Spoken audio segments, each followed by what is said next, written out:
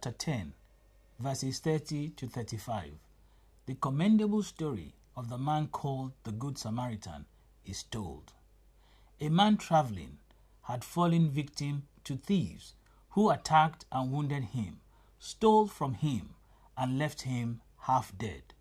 A priest, as well as a Levite, happened on him where he lay, but did nothing to help him.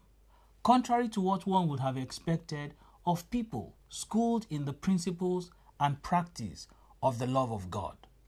But a certain Samaritan, we are told in verse 33, as he journeyed, came where he was, and when he saw him, he had compassion on him.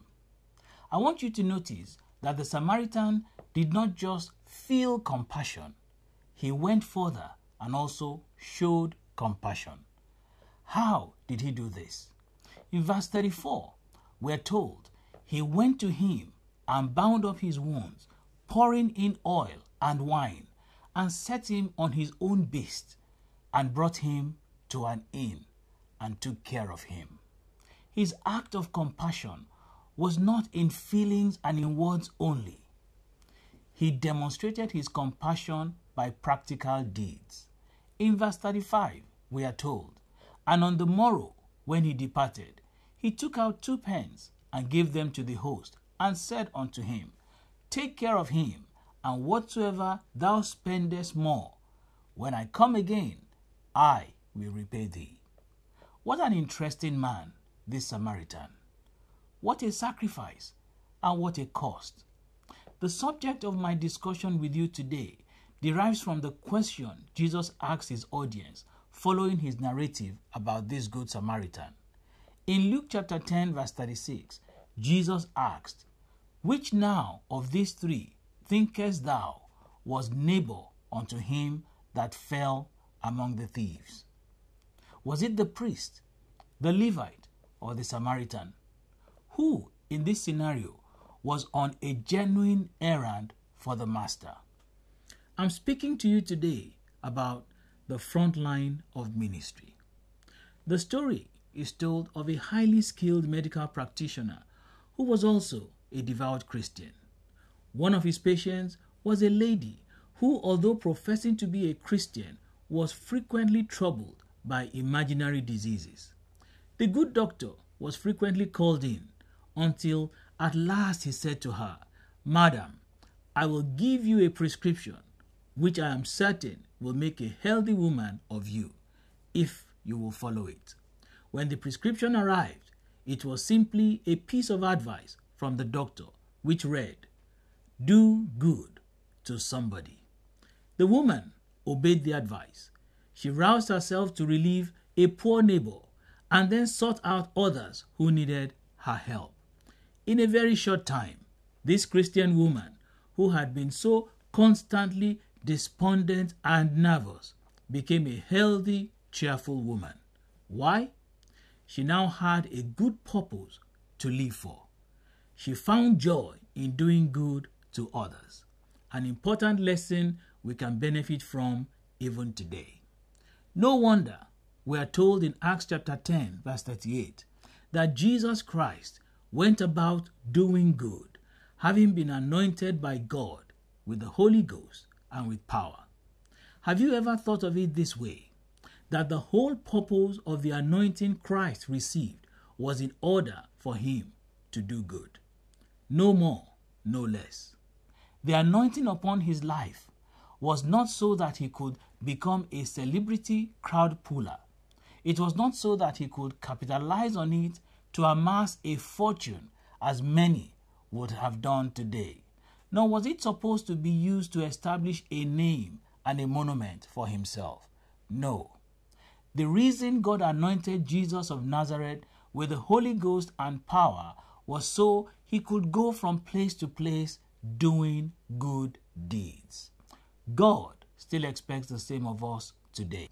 It is not enough for us to just feel compassion for those around us. We are to go a step further and actually demonstrate God's love to them. What qualifies us to be ambassadors of good deeds is not a title or a position, but an understanding of the privilege we have to be God's hands and feet. None of us has an excuse not to be like the Samaritan. Do you realize you are more qualified than your pastor to speak to your work colleague or your friend about the sacrifice Christ made for them? You are also in the best position to demonstrate and show those closest to you the meaning of the love of God. The truth is that our understanding of what and where the front line of ministry is needs revisiting. We need to accept that the nature of the pulpit ministry has changed. Right where you are is your pulpit, and the life you live is the epistle others are eager to read. The office where you work is your front line. Your dental office, your law office, the classroom where you teach, the library, the cafeteria, everywhere you are and every task you do is a potential front line for a good deed and service. Whatever opportunity presents itself for you to demonstrate the gospel of Christ in action through ministry, seize it and use it well. We are not told what his occupation was, but this Good Samaritan man must have been a professional. I think he was a medical doctor. But perhaps he was an officer of the law. Or could he have been a lawyer or businessman? It doesn't matter.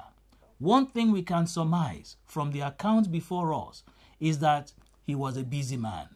Like many of us today, he must have had several appointments scheduled in his diary and perhaps several targets and deadlines to meet at the other end of his journey. Yet, he allowed himself time to show kindness and love to someone else, someone else in serious need. This man was neither a priest nor a Levite. He was neither a pastor nor a bishop. He was just a God fearing person like you and I claim to be. Did you know that the Bible had you specifically in mind when in Matthew chapter 5 verse 16 it said, Let your light so shine before men that they may see your good works and glorify your Father which is in heaven. You see, saints, on the wall by the exit gate of a haulage company was a sign for all the drivers to see as they drove off. This sign read, Beyond these gates, you are the company. A fact that is also true of us Christians. Beyond the walls of our churches and denominations, we are a personal representative and reflection of Christ and of his gospel message. The question I hope to leave with you is this How well are you excelling in this task of going about and doing good, just like our Master? And how well are you utilizing every opportunity you have as a front line for ministry? Think upon these things.